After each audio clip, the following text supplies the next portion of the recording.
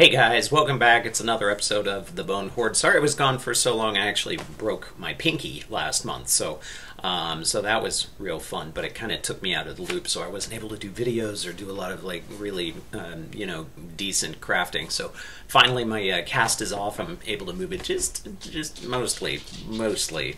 That's about as that's about as far as I can get it.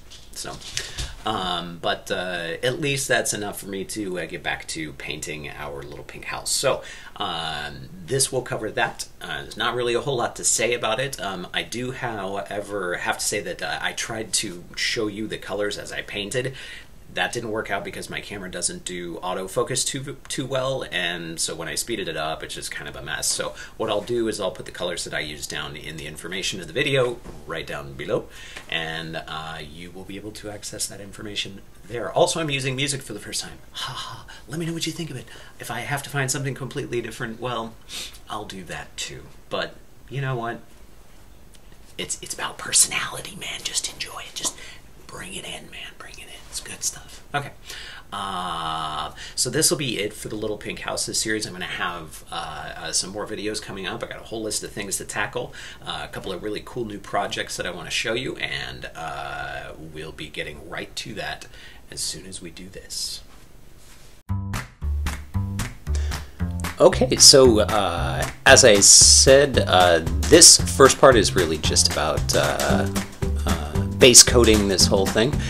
So um, I'm using a uh, burnt umber on this, I believe. Uh, I don't know, the colors are down below. You look at that.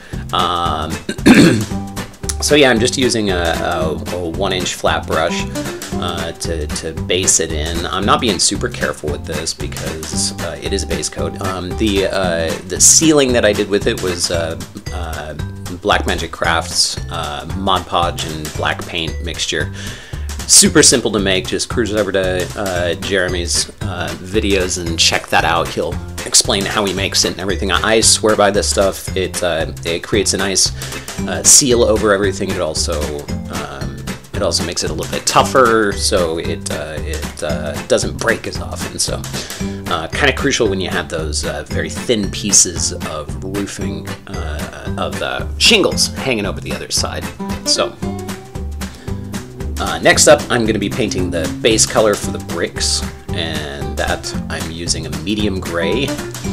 So um, again, I'm trying not to get into the cracks too much, so I'm just kind of brushing it over, um, and uh, I'm brushing around all my timbers and my windows and everything because I'm going to be painting those a different color as well.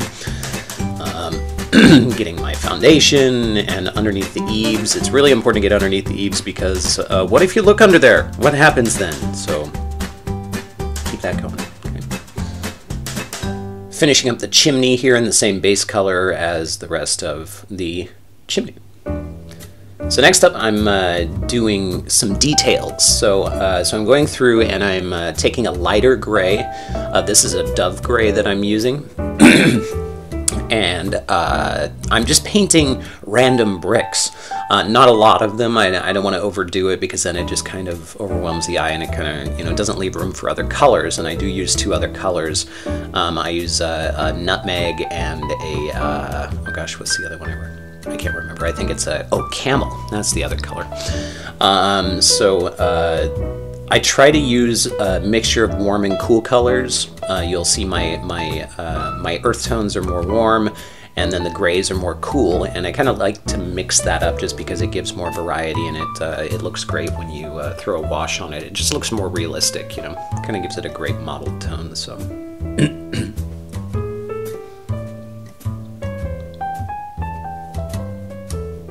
This is the nutmeg that's going on right now. I felt like at first it was a little too red, like it was almost a terracotta, but I thought, yeah, you know.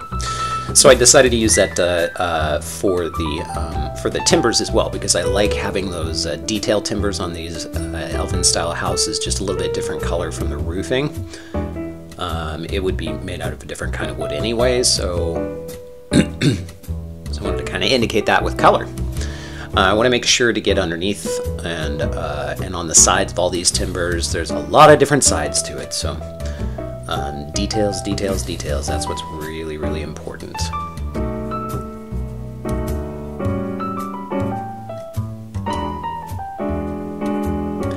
after this, I go ahead and I put on a wash. Um, but uh, but I don't have a video of that. It's just a simple uh, black paint with water. Uh, I put a, a, little bit of alcohol in it just to kind of help it uh, uh, flow better, and uh, and that uh, seems to work really really well. So right now I'm uh, detailing in the uh, windows with the same burnt umber that I used on the on the roof. And then I go in with some metallic. This is antique copper on the, uh, that's just for the chimney. and then this is a navy blue that I'm using for the windows. Um, I like to use a nice dark blue because it kind of gives the impression there's something going on in there, but it's not, you know, so bright or shiny that it distracts from the rest of the piece.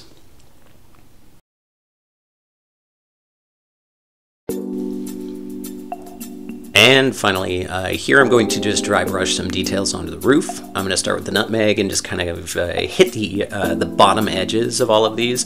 Um, I don't brush off a lot of the paint because this is uh, uh, not a very high contrast, so, um, so I'm trying to just take the bristles and, and really just nick the edges of, of all of these with a, a, decent amount of paint. I also go across um, the uh, the peak of the roof and underneath just to let some of those details pop out a little bit. I also do the uh, the detail timbers, which of course, because I'm so good at camera work, um, I do off off camera. So um, I am now mixing in a little bit of camel um, to do the uh, the ultra highlights, and that's just some uh, random little bits here and there that I want to uh, pick up uh, off of the roof. Um, just to give it the impression that the, the light's striking it. Here I'm doing uh, the edges of the timbers and just kind of lightly going over the windows with the same uh, camel color. I'm also hitting underneath the eaves so I can uh, get some of that detail out. Um, the door, of course, which I forgot I also put copper bands on because that look cool. That's pretty much it. Um, a lot of the painting I do, I do just kind of off the cuff. I don't do a lot of planning or plotting. I kind of feel my way through it. So um,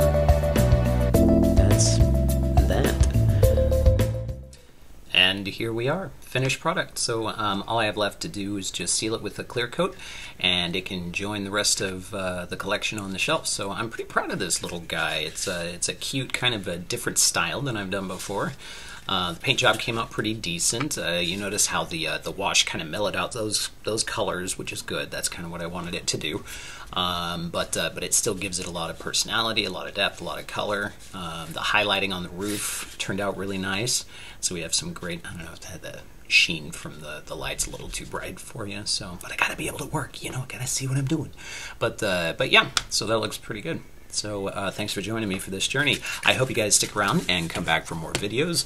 Um, I'll have some more coming out in the next couple of weeks. So thank you.